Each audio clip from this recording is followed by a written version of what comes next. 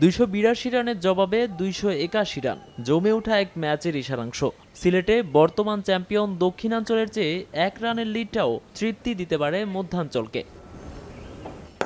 অথচ দ্বিতীয় দিনের শুরুটায় আধিপত্য দক্ষিণাঞ্চলেরই। শারিয়ান নাফিস এনামুলের উদ্বোধনী জুটির উপহার বাহাত্তর রান।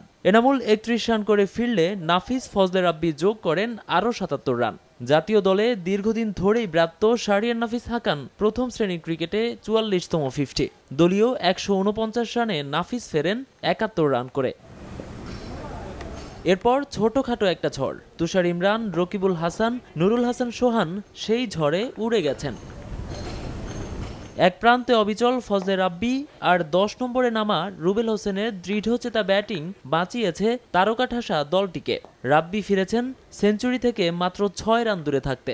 ত্রিশ রান করা রুবেল শেষ ব্যাটসম্যান হিসেবে যখন আউট হন, দলীয় রান তখন দুইশো একাশি। মোশারফ রুবেল নিয়েছেন চার উইকেট।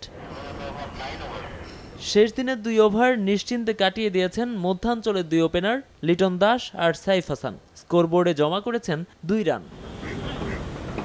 রাজশাহীতে অতটা জমে ওঠার গল্প নেই। এক পেশে ম্যাচের আভাস পাওয়া যায় প্রথম দিনেই। পূর্বাঞ্চলের বিপক্ষে প্রথম দিনেই উত্তরাঞ্চলের সংগ্রহ দুই উইকেটে তিনশো পঁয়ত্রিশ রান। প্রথম দিনেই সেঞ্চুরি হাঁকিয়ে উইকেটে তখন নাইম ইসলাম ও জহুরুল ইসলাম।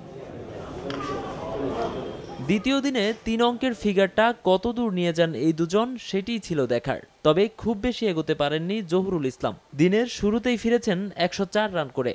নাইম ইসলাম আগলে ছিলেন কিছুক্ষণ। তার সংগ্রহ একশো সাঁত্রিশ রান। দুজনের বিদায়ের পর বিশাল সংগ্রহের স্বপ্ন পূরণ হয়নি উত্তরাঞ্চলের।